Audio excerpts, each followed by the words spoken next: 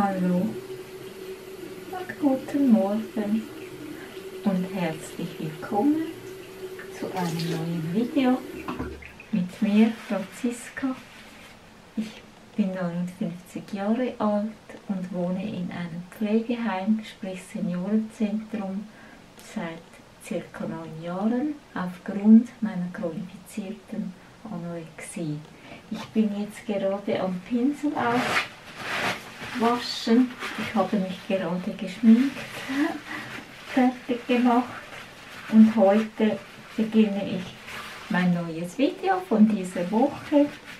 Begrüße euch ganz herzlich und wünsche euch einen guten Wochenstart. Es ist Montag. Heute ist der 6. November Schwägerin hat Geburtstag, das weiß ich. Und das Thema von diesem Video ist, warum habe ich Anorexie? Was gibt es für Gründe, dass ich eine Anorexie entwickle? Oder was gibt es für Faktoren für eine Anorexie? Ich mache jetzt noch schnell meine Pinsel fertig und mache mich noch parat und dann werden wir starten. Wenn dich dieses Thema interessiert, dann kannst du dranbleiben. Ich wäre auch noch froh, wenn du mich abonnieren würdest. Das würde mich sehr freuen. Und dann starten wir los. Danke. Ich habe mir gedacht, wir gehen zur Bibliothek und schauen, was für Faktoren über die Anorexie die Entstehung einer Anorexie in den Büchern geschrieben steht. Ich freue mich. Bis später. So, dann gehen wir jetzt los in die Stadt, zur Stadtbibliothek und schauen weiter. Ich hoffe, ich kann dann sprechen, weil ich hoffe, ich kann sprechen, weil ich weiß ja noch nicht, ob es Leute hat oder nicht. Wir sehen es. Ich hoffe es sehr. Jetzt können wir gerade in den Lift rein. Es geht ja ruckzuck, zack, zack. Ich melde mich dann bei der Bibliothek wieder. Bis später. Wir sind jetzt hier und ich suche jetzt das Buch, das wir suchen. Schaut mal her. Ich bin jetzt am bin jetzt mal am Suchen. Und dann schauen wir weiter. Ich melde mich dann wieder, wenn ich es gefunden habe. Ich habe mal etwas gefunden. Ich lese da mal. Allgemeines Störungsmodell, Veranlagung, niedriges Selbstwertgefühl, Wunsch nach Gewichtsabnahme, Perfektionismus, Schönheitsideal, Probleme beim Umgang mit Gefühlen, Wunsch nach Stressabbau, Ablenkung, Konflikte, Angst, das ist dann, wenn man schon drin ist, vor Gewichtszunahme. Risikofaktoren, genetische Faktoren, weibliches Geschlecht, ethnische Zugehörigkeit, frühkindliche Gesundheitsprobleme, Verdauungsprobleme, Adoleszenz, früher Pubertätsbeginn, übermäßige Beschäftigung mit Figur und Gewicht, Durchführen von Diäten, depressive Symptome, negativer Selbstwert, häufiger Vergleich der eigenen Zukunftsperspektive mit anderen, hohes Maß an sportlicher Betätigung, Zwangsstörungen, Körperdysmorphiestörung, stärkere Belastung durch persönliche Umgebungs- und diätbezogene Risikobereiche negative Selbstbewertung, Perfektionismus. Dann gibt es genetische Faktoren. Das haben wir schon gehabt. Gesund, frühkindheitliche Gesundheitsprobleme, das hatte ich ja auch. Höheres Gewicht von den Eltern als übergewichtig wahrgenommen werden. Angst, Depressionen, sexueller Missbrauch, körperliche Vernachlässigung, Schwierigkeiten beim Füttern in der Kindheit, das hatte ich auch. Überängstlichkeit in der Kindheit, das hatte ich auch. Übergewicht in der Kindheit. Früher Pubertätsbeginn, das steht schon wieder, hier steht das schon wieder, übermäßige Beschäftigung mit der eigenen Figur, mit dem eigenen Gewicht, Durchführen von Diäten, niedriges Selbstwertgefühl, das kommt immer wieder, psychiatrische Morbidität, negative Affektivität, Depressionen, soziale Probleme. Es gibt Unmengen an Faktoren, mangelnde soziale Unterstützung, Gefühl unzureichender Wahrnehmung oder Zuneigung zu den Eltern, das kenne ich auch. Höheres Maß an Schüchternheit.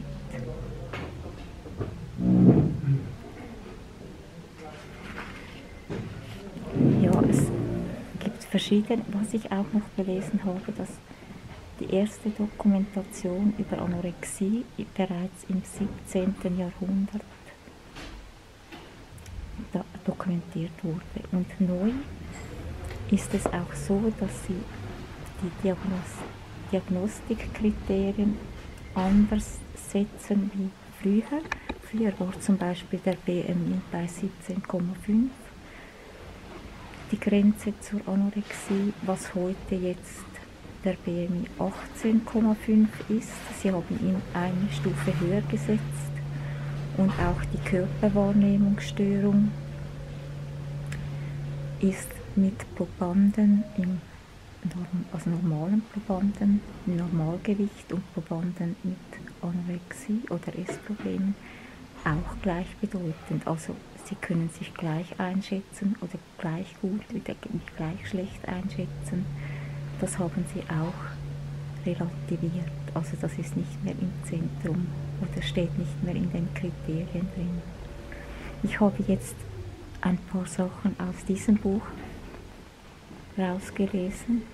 Das sieht man jetzt spiegelverkehrt, Anorexie und Bulimie nervosa von Jacobi Thiel, Wein, Weintner. ja, was immer wieder vorkommt, ist das niedrige Selbstwertgefühl und traumatische Erlebnisse. Das ist jetzt weniger gekommen, aber das spielt natürlich auch eine große Rolle. Der Missbrauch, dass man missbraucht wird in der Kindheit oder auch später immer wieder ausgenutzt. Die Angst, das kenne ich gut. Und Probleme, psychische Probleme, äh, das äh, was ich jetzt da sehe, was mich sehr, also die Angst und äh, jetzt habe ich es vergessen wieder. Ich, muss, ich müsste es wieder nachschauen, aber ich habe sie aufgenommen. Ich hoffe, ihr konntet etwas daraus nehmen. Es ist ein bisschen geschrieben, es hat so viel. Ich bin ein bisschen überfordert, muss ich echt sagen. Ich bin ein bisschen überfordert. Was steht denn hier noch drin?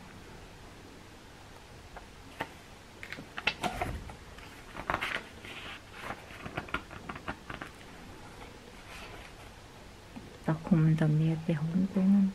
Das werden wir dann auch mal durchnehmen. Ja, da hat es Diagnostikkriterien. Das sind andere Sachen. Ursachen sind eher die, die ich jetzt gesprochen habe. Ich hoffe, es reicht euch. Es ist ausreichend, wenn mir noch etwas in den Sinn kommt, werde ich es euch noch sagen. Ich habe noch etwas aufgeschrieben. Vielleicht steht da noch etwas, was ich noch vergessen habe zu erwähnen.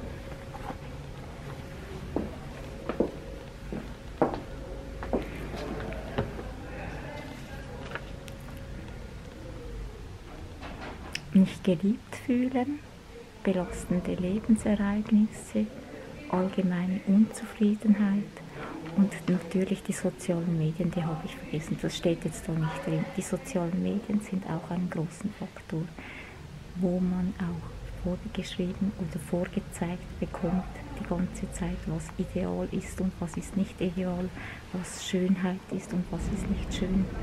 Und auch untereinander, das Vergleichen untereinander, unter Gleichaltrigen, dann kommt noch Mobbing dazu. Und Persönlichkeitsstörung, also wenn jemand auch Borderline hat, kann er auch eine Essstörung entwickeln. Zum Beispiel entsprechen wollen eines Schlankheitsideals, das ist dann wieder in diesem Sektor von sozialen Medien oder Germany Next Top Models, die schreiben ja auch vor, wie man auszusehen hat und so weiter. Es gibt so viele Faktoren. Ich möchte jetzt doch nicht zu viel sprechen, weil es ist ja eine öffentliche Bibliothek und möchte hier einen Schlusspunkt machen. Ich werde diese Bücher wieder einordnen und dann gehen wir noch etwas in die Stadt. Ich hoffe, es hat euch etwas gebracht, ein bisschen ein Einblick in Faktoren, Ursachen, warum habe ich eine Essstörung. Ich hoffe, ihr konntet etwas daraus hervorziehen und ihr habt mich auch verstanden von der Lautstärke. Vielen Dank. So, nun bin ich wieder draußen. Jetzt kann ich wieder lauter sprechen. Jetzt ist es mir wieder eingefallen. Die Schüchternheit dass man schüchtern ist als Kind, das war ich auch. Ich war ein sehr schüchternes Kind. Ich hatte einmal einen Unfall, da habe ich meine Oberlippe zerbissen. Ich musste das dann nähen und ich wurde dann auch gemobbt und wurde dadurch schüchtern. Ich war zuerst eher das Gegenteil und durch dieses Ereignis wurde ich dann schüchtern. Also das kann auch ein Komponent sein. Und die, der Missbrauch, also die Traumata, die frühkindlichen Störungen, Depressionen habe ich, ich war viel alleine und ich habe oft auch Verantwortung übernommen. Das sagt man, ist auch ein Faktor, der mitzählt zählt zu einer, dass man eine Anorexie bekommen könnte oder eine Essstörung. Ich habe früh Verantwortung übernommen zu Hause, weil meine Mutter nicht da war oder auch selber Probleme hatte, hatte ich den Haushalt ein bisschen übernommen oder meine Geschwister betreut, solche Dinge und halt dann vor allem das Dramatische, was ich erlebt habe. Das ist eigentlich das und was ich dann noch erlebt habe, dass ich nicht das ausüben durfte, was ich gerne wollte. Ich wollte gerne musizieren und ich durfte dann nicht. Ich durfte nicht meiner Musik nachgehen und musste Arbeiten machen, damit ich nicht der Musik nachgehen konnte. Ich wurde missbraucht und ausgenutzt, bis mir den Schnuller sozusagen aus dem Mund gespuckt dass ich den Schnuller ausgespuckt habe und dann nicht mehr gegessen habe. Ja, das sind so meine Faktoren gewesen. Jetzt gehen wir noch wieder nach Hause. Es ist halt doof an einem solchen Ort. Es hat sehr viel Literatur gehabt, aber ich habe mich zu wenig vorbereitet. Ich hätte viel früher dorthin gehen sollen und mich richtig vorbereiten. Ich werde das für ein anderes Video dann besser machen. Das verspreche ich euch, dass ich mich besser vorbereite für Behandlung. Die Behandlung. Ich möchte einen Vergleich ziehen. Behandlungen heute, Behandlungen früher. Wie war das damals? Wie, ist es heute?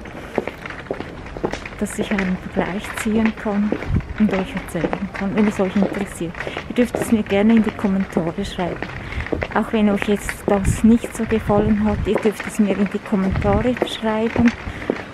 Und wenn es euch etwas gebracht hat, dann wäre ich froh. Das würde mich freuen. Ich bin selber ein bisschen überrumpelt von mir selber. Ich habe es mir anders vorgestellt. Trotzdem war es schön, der Ausflug. Jetzt macht es zu. Ich glaube, es kommt Regen. Gehen wir schnell nach Hause, damit wir nicht nass werden. Bis später. Ich melde mich zu Hause. Danke. Jetzt habe ich gerade noch eine liebe Freundin getroffen. Eine so liebe Freundin. Sie hat auch mein Problem, ja, das gleiche Problem und ist seit Jahren. Sie ist so ein herzensguter Mensch und ich habe mich so gefreut, sie zu sehen. Lieber Gruß an dich, du weißt, wir haben uns vor dem Mono getroffen.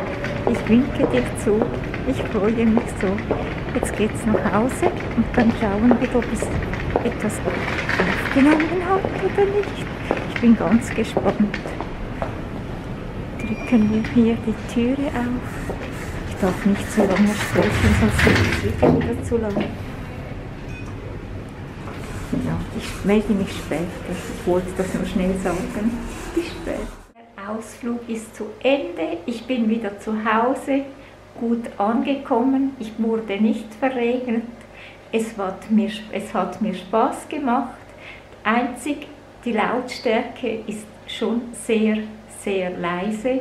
Ich hoffe, ihr konntet es verstehen, ihr konntet mich verstehen.